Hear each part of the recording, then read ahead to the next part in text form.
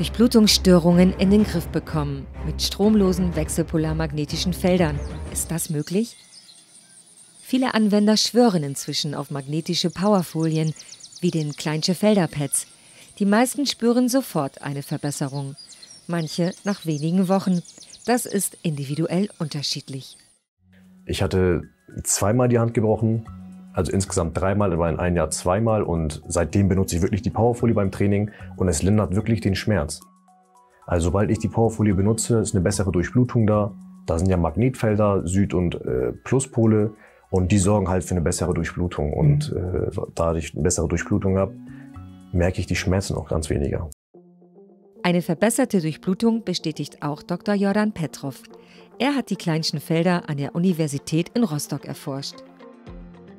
Das ist ein Universitätslabor und wir haben dort Untersuchungen gemacht.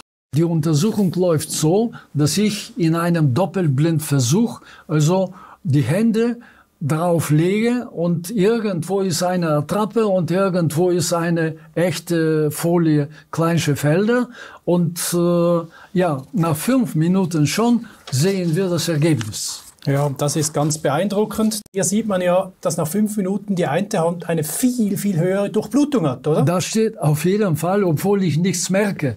Ich gehe dahin, nichts ahnend, ich merke nichts, ja, aber gleich das Gerät, äh, die Wärmekamera, nach fünf Minuten registriert eine viel größere Durchblutung als hm. bei der mhm. Hand mit, ja. der, mit der Attrappe.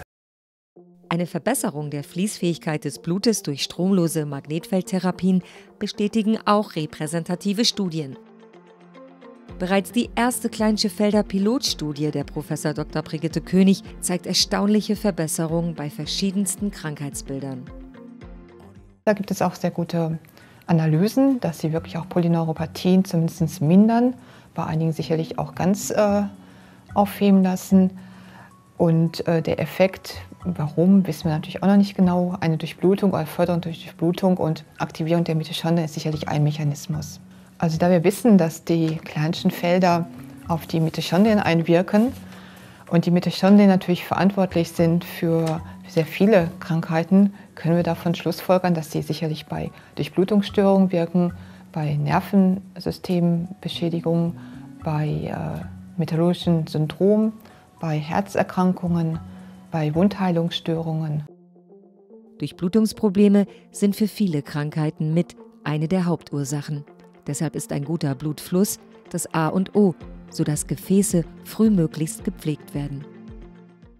Im Laufe des Altwerdens werden die Gefäße nicht mehr so elastisch, weil sie Kalk einlagern.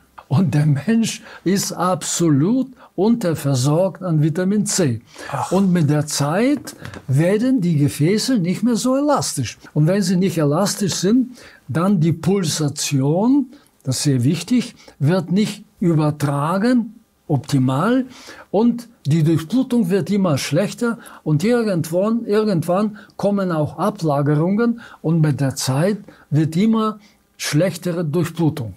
Wenn ich eine bessere Durchblutung einfach durch Schlafen auf eine Auflage erziele, können, kannst du mir sagen, ob es eine bessere Therapie Nein, geben nie, würde? Aber erklär mir kurz, warum ein kleines Feld äh, die Durchblutung steigert, beziehungsweise diese äh, Blutgefäße, die ja steifer werden, wieder elastischer machen. Elastischer werden die gemacht, weil selbst diese Gefäße also bessere Nahrung bekommen.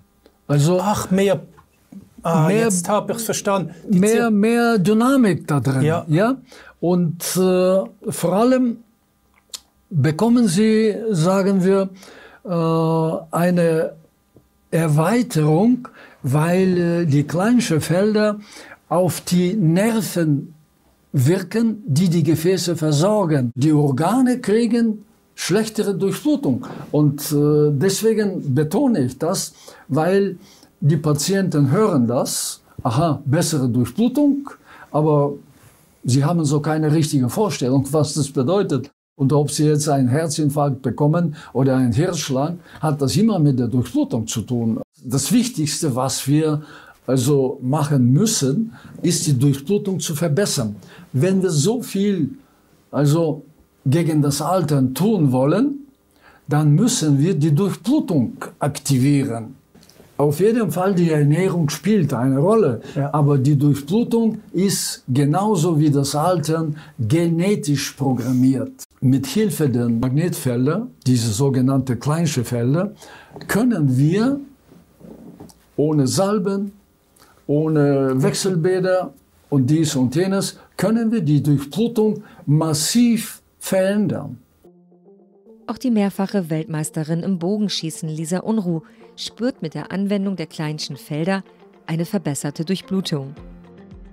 Wenn ich einen Wettkampf habe, nach dem Wettkampf sozusagen benutze ich die Manschette und mache die halt um meinen rechten Arm, weil an der rechten Schulter war die Operation. Und oberhalb, also oberhalb des Bizeps, mache ich dann die Manschette rum. Das Gefühl, dass die Durchblutung wird mega angeregt. Und so war das auch das erste Mal oder die ersten Male, als ich auf der Schlafunterlage gelegen habe nachts. Da habe ich auch so ein, ja, so ein, so ein Fließen gespürt und hatte auch am nächsten Morgen oder dann danach generell hatte ich das Gefühl, ich bin ausgeruhter.